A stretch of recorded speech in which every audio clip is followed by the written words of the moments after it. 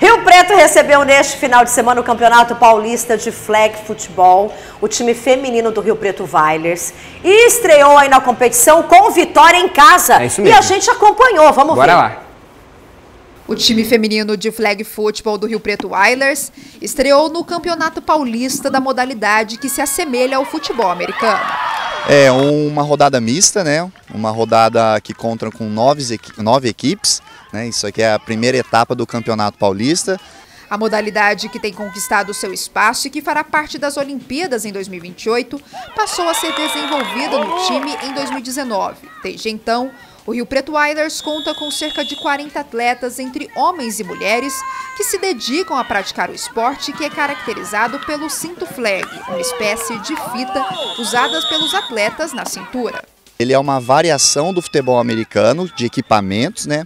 Só que, para parar a jogada, ao invés de você fazer o tackle, como é conhecido o impacto no futebol americano, você tira a flag, que é uma bandeirinha que fica na lateral né, das meninas aqui, dos meninos também, na modalidade masculina. Então você retira a bandeirinha, a jogada para ali, então o campo é reduzido, o número de atletas também é reduzido, né? É um jogo mais dinâmico, mais rápido, né? Na primeira rodada, as meninas estrearam com a vitória, 39 a 7 contra o time da Unasp Roosters, um resultado que foi alcançado após uma intensa preparação. Academia, é, preparador físico que está ali ajudando a gente e a gente treina também três vezes na semana, né? Então isso faz muita diferença porque a gente tem bastante repetição, bastante estudo, tem as reuniões online, então tudo isso é, conta bastante. O esforço gerou um resultado positivo. Na segunda rodada, o Oilers venceu o time do Caipiras por 38 a 12. Mas desta vez a vitória teve um gostinho de revanche. Isso porque no ano passado o time foi derrotado pelas mesmas adversárias.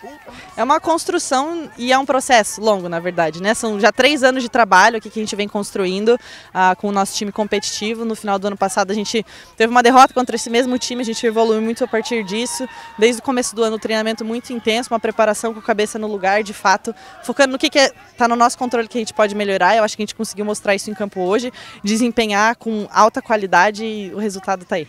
O campeonato, que contou com a participação de nove equipes de vários cantos do país, está só começando, mas para a torcida rio-pretense, a expectativa de um possível título já é uma realidade. Ah, que a gente seja campeão do Paulista já era esquecer tudo. Campeãs, com certeza. Ficamos em segundo, agora esse ano vai sair. Ah, parabéns aí para as meninas, né?